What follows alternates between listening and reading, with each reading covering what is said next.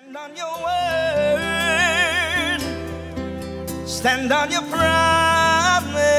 Oh, my soul says yes.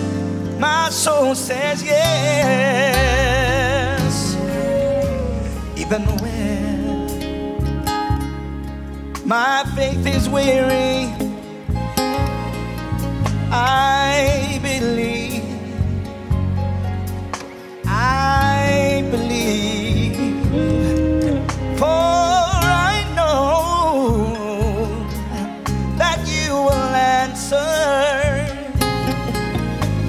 I believe,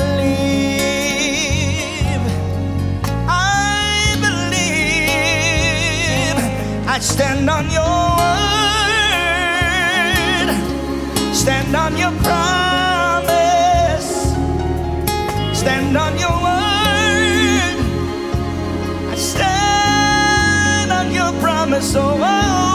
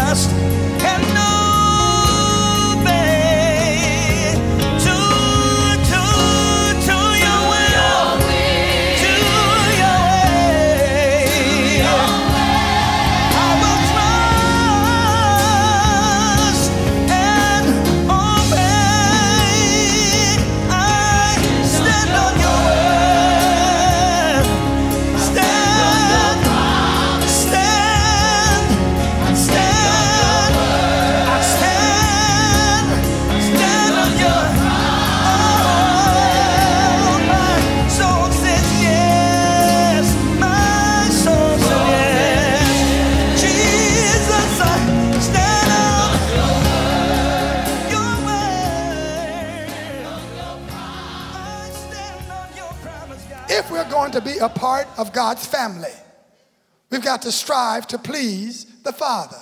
How many of you want to be in God's family? Well, you get in God's family by pleasing Him, by doing His will. That's what Matthew 12 and 50 says. For the Bible says, For whosoever shall do the will of my Father which is in heaven, the same is my brother, the same is my sister, the same is my mother. If you do God's will, Jesus said, Hey, that's my brother over there. That's my sister. That's my mother. That's my friend. So again and again and again, Jesus stresses the importance of obedience to God. In Luke 6 46, he says, Why do you call me Lord, Lord, and do not do the things which I say? He said in the Lord's Prayer, He teaches us to pray, Thy will be done on earth as it is in heaven. In 1 John 2 and 3, John said, Hereby do we know that we know him if we keep his commandments. Hereby do we know that we know him if we keep his commandments. He that saith, I know him and keepeth not his commandments is a liar. Whoa. Somebody say, whoa. 1 John 3:24, he that keepeth his commandments dwelleth in him, and he in him. In other words, if you don't keep the commandments, you're not dwelling in the Lord. And the Lord is not dwelling in you. My spirit does not dwell in an unclean temple, so the Lord said. So without obedience, all of our beautiful words, all of our high praises, all of our singing and shouting are useless and vain. God and Jesus want to use men to proclaim the word of God and to spread the gospel throughout the world.